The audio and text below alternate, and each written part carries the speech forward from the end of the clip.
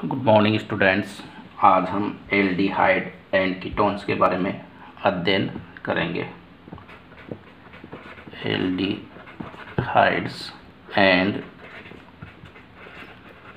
Ketones क्या होते हैं? एल्डिहाइड एंड कीटोन आइए देखते हैं। सी डबल ओ समूह को कार्बोनिल कार्बोनिल या ऑक्सो समूह कहा जाता है। सी डबल ओ समूह को कार्बोनिल या ऑक्सो समूह कहा जाता है।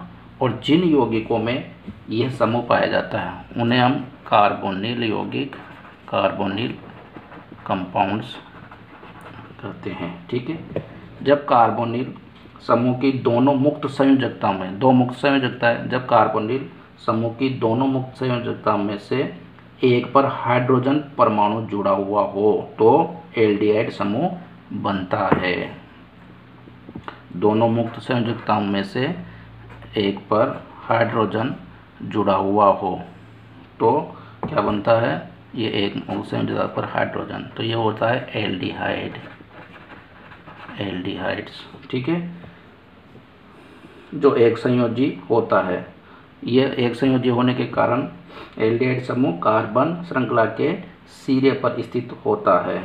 और सी एच ओ समूह युक्त यौगिक क्या कहलाते हैं? एल्डिहाइड इसके विपरीत, कीटोनों में कार्बोनिल समूह की दोनों मुक्त संयोजकताओं पर कार्बन परमाणु से जुड़ी हुई होती है। अतः कीटोनिक समूह सदैव कार्बन श्रृंखला के मध्य में स्थित होते हैं। ये सी डबल बॉन्ड ओ ये कार्बन दोनों मुक्त संयोजकता पर कार्बन समूह जुड़े हुए होते हैं और इसको कहते हैं हम कीटोन। ठीक है? तो एक मुक्त संयोजकता पर अगर हाइड्रोजन जुड़ा हुआ है तो एल्डिहाइड दोनों मुक्त संयोजकता पर यदि कार्बन जुड़ा हुआ है तो कीटोन।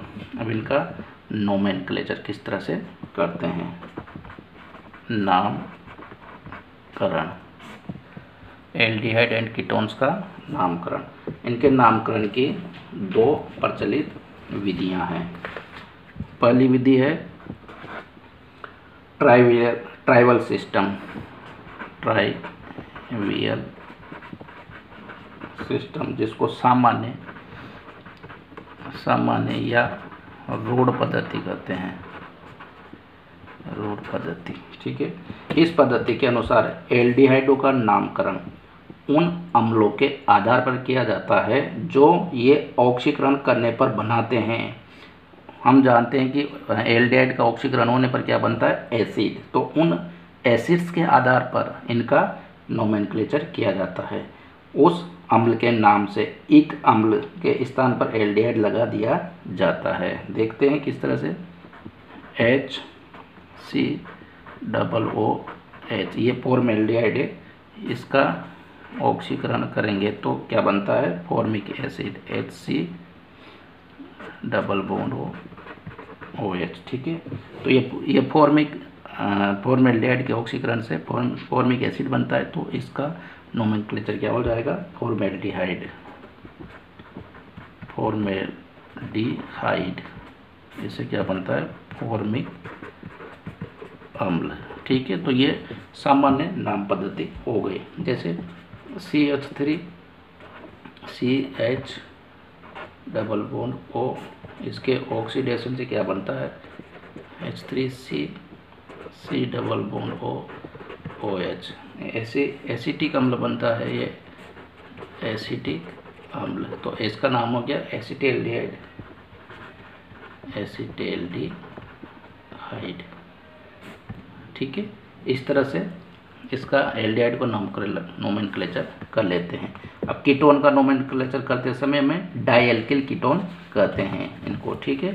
जैसे C H three C double bond O C H three di alkyl ketone तो इसका नाम हो जाएगा डाई मेथिल दो मेथिल समूह जुड़े हुए हैं डाई मेथिल कीटोन ठीक है?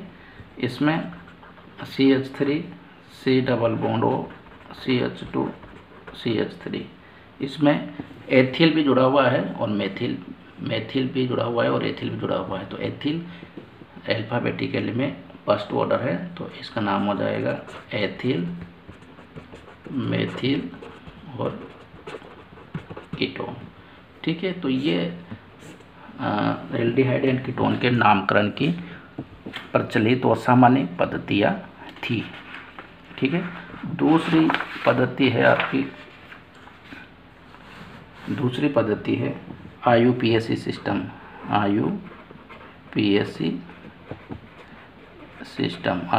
IUPAC nomenclature किस तरह से करते हैं? इस पद्धति के अनुसार एलिफेटिक एल्डिहाइडो का नामकरण करते समय इसके जनक एलकेन जनक एलकेन के नाम के अंत में क्या लगा देते हैं? सुफिक्स एल लगा दिया जाता है।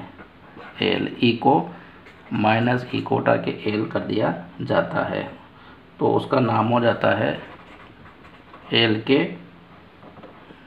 एल के नल ठीक है? देखते हैं। एच सी एच ओ ठीक है? ये इसका मेथेन मेथेन से बना हुआ है ये। तो इसका नाम हो जाएगा मेथेनेल। क्या हो जाएगा? Methane methanal methanal, ठीक है? और इसका नाम C H three C C H O C H three C H O इसका नाम हो जाएगा एथेनेल, ठीक है? चूँकि एल्डिहाइड समूह सदैवी श्रृंखला के सिरे पर होता है, अतः इसकी स्थिति बताने की आवश्यकता नहीं पड़ती। कीटोन का नामकरण करते समय उसके जनक एल्केन के अंत में, एल्केन के ई को हटाकर क्या लगा दिया जाता है? ओन ई को हटाकर वोन लगा दिया जाता है। कीटोन का नोमेनक्लेचर किस तरह से होता है? देखिए। C H three C double bond O C H three तीन कार्बन है तो प्रोपेन होगा ये। प्रोपेन ई हटा के क्या जोड़ दिया non propanone okay C H three C O C H two C H three ये हो गया आपका ब्यूटेनॉन ब्यूटेनॉन अब C H three C H two C O C H two C H three ठीक है? अब इसमें इसकी सी ओ की पोजीशन हमको देनी पड़ेगी। तो one, two, three, four, five, तीन पे सी ओ समूह जुड़ा हुआ है। तो लिखेंगे इसको तीन, पेंटे, नॉन। सी ओ समूह कहाँ जुड़ा हुआ है? तीन पर। प्रोपेनॉन, और इसमें क्यों नहीं दिया हमने? क्योंकि प्रोपेनॉन, ब्यूटेनॉन में कीटोनिक समूह के लिए कोई दूसरी स्थिति संभव नहीं है, अतः इसकी स्थिति बताने की आवश्यकता नहीं होती। किंतु पेंटेनॉन व अन्य कीटोन के लिए कीटोनिक समूह की स्थिति बताना आवश्यक होता है। अब इसमें समावयवता isomerism isomerism carbonyl compounds. First isomerism chain isomerism, chain isomerism. ये समय होता है एल्डिहाइडो में पाई जाती है, देखते हैं C H three C H two C H two C H O ये हो गया ब्यूटेनल, ब्यूटेनेल, ठीक है? दूसरा कंपाउंड है आपका C H three C H C H three C H C H O C H three two methyl two methyl propanal इनका molecular formula क्या है? C four H eight O ठीक है? इसमें सीधी श्रृंखला है ब्यूटेनियल और इसमें दूसरी पोजीशन पर या one position two position three position पर। दूसरी पोजीशन पर मिथाइल जुड़ा हुआ है बट मोलिकुलर फॉर्मूला यही है। तो इसमें होगी चेन आइसो मेरिज्म दूसरा है पोजीशन आइसोमरिज्म स्थिति समावयता स्थिति समावयवता स्थिति समावयवता कीटोनों में स्थिति समावयवता का एक विशिष्ट प्रकार मेटामेरिज्म पाया जाता है। एक मेटामेरिज्म भी इसमें पाया जाता है, ठीक है? उदाहरण के लिए C five H ten O अणुसूत्र से अगर तीन प्रकार के कीटोन संभव है। कौन कौन से कीटोन संभव है? C H three C H two C O C H two C H three दूसरा है C H three C double O C H two C H two C H three तीसरा है C H three C double O C H C H three C S three ठीक है? अब इसमें no man हम करते हैं।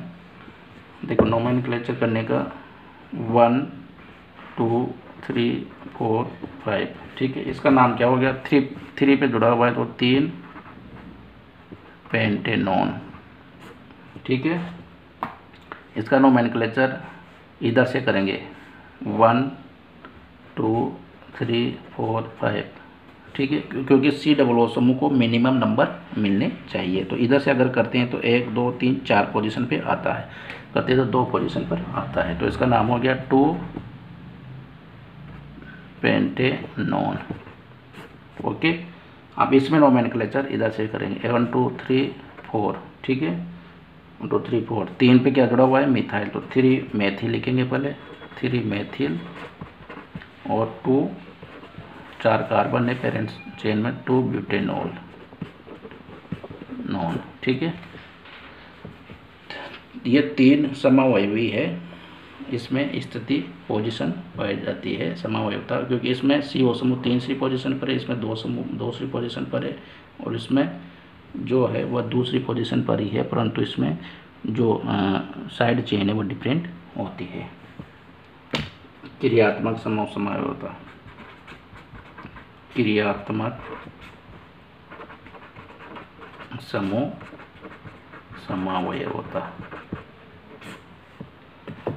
एल्डिहाइड तथा कीटोन दोनों का सामान्य सूत्र होता है C N H two N O okay?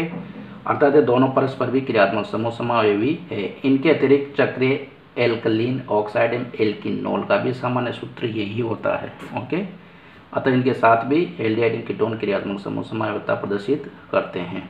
उदाहरण के लिए C three H six O के निम्न समावयवी संभव है। कौन कौन से C H three C H two C H O ये हो गया आपका प्रोपेनेल। और ये C H three C double O और सी एच थ्री हो गया प्रोपेनॉल प्रोपेनॉन दूसरा है C H three C H C H two O हो गया आपका प्रोपिलीन प्रोपिलीन ऑक्साइड और दूसरा हो गया आपका last C H two double bond C H C H two O H allyl alcohol. Allyl alcohol, okay? तो ये सारे हैं जो क्रियात्मक समूह समावेवी होते हैं। तो इनमें तीन प्रकार की समूह समावेता पाई जाती है। चेन आइसोमरीज, पोजिशन आइसोमरीज में फंक्शनल आइसोमरीज। अब कीटोन और एल्डिहाइड है उनको बनाने की कौन कौन सी विधियाँ हैं? के बारे में चर्चा करते हैं। Methods of preparations method of preparation of aldehyde and ketones, ठीक है? इनके बनाने की प्रथम विधि है एल्कोलो से प्रोम। एल्कोहल्स एल्कोहल से किस तरह से बनाया जाता है? एल्कोहलों के ऑक्सीकरण द्वारा कार्बोनिल यौगिक बनते हैं। प्राथमिक वन डिग्री एल्कोहल के ऑक्सीकरण कराने पर एल्डिहाइड जबकि द्वितीय टू डिग्री एल्कोहल के ऑक्सीकरण कराने से कीटोन प्राप्त होते हैं। R C H two O H इसका ऑक्सीडेशन करवाएँगे तो एल्डिहाइड बनेगा। R C H O L D aldehyde plus H two O ये प्रात वन डिग्री एल्कोहल है और इससे बनता है आपका एल्डिहाइड ठीक है? R R C H O H इसका ऑक्सीकरण करवाएँगे तो R R C double O plus H two two degree alcohol है इसके ऑक्सीकरण से कीटोन बनेंगे, ठीक है? तो ये एल्कोहल से किस तरह से हम बना सकते हैं, इसके बारे में अध्ययन किया। ठीक है? अब इसमें क्या है कि एक एल्यूमिनियम तृतीय ब्यूटोक्साइड एल्यूमिनियम तृतीय ब्यूटोक्साइड एक ऐसा विशिष्ट ऑक्सीकारक पदार्थ है जो द्वितीय एल्कोहलों को कीटोनों में ऑक्सीकृत कर देता है। द्वितीय एल्कोहल को अभिक्रमक के साथ गर्म करने पर उसमें कीटोन मिला देते हैं। देखिए, एक अन्य प्रकार की अभिक्रिया है। तीन अणु, R C, H, O, H के लिए अपन है, ठीक है? और ये आक्षी कारक लिया हमने। सी, एच थ्री का होल थ्राइड सी, ओ, ये इसका होल थ्राइड एल्यूमिनियम ठीक है? इसकी रिएक्शन करवाएँगे तो आपके बनता है। R R C H O three aluminium plus तीन सी एच थ्री का होल थ्राइड और सी ओ एच, ठीक है? अब ये R R C H O whole थ्राइड ए एल प्लस तीन C H three C H three C double one O और ये बन जाएगा आपका तीन R R C double one O plus C H three C H three C H O ऑल्थराइज aluminium, ठीक है? तो ये बन गया आपका कीटोन। एक कीटोन का फॉर्मेशन होता है, ठीक है? इस विशिष्ट आक्षीकरण को, जो ये आक्षीकरण रिएक्शन है, इसको हम बोलते हैं ओपे ओपे नोइर ओपे नोअर ऑक्सीकरण अभिक्रिया। ठीक है ऑक्सीकरण अभिक्रिया इसको हम बोलते हैं। इस विधि द्वारा प्राथमिक एल्कोहल का ऑक्सीकरण करके एल्डिहाइड भी प्राप्त किए जा सकते हैं। ऑक्सीकरण की यह विधि विशेष कर असंतृप्त द्वितीय एल्कोहल के लिए प्रयुक्त की जाती है, क्योंकि इस अभिकरण से केवल द्वितीय एल्कोहली समूह कीटोनिक समूह में परिवर्तित होता है द्विबंदी से प्रभावित नहीं होता। तो ये एल्कोहल से किस तरह से कीटोन और एल्डिहाइड बनाए जाते हैं। इसके बारे में हमने चर्चा की।